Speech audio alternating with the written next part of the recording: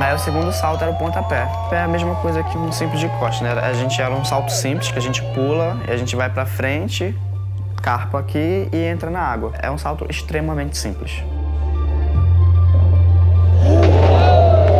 Então, assim, eu já saí, já virei pra Déia e ela tava assim, né? Falei, gente, o que foi que eu fiz? Aí, quando eu olhei no telão, eu vi que o Luiz tinha dobrado, entrado todo dobrado na água, né?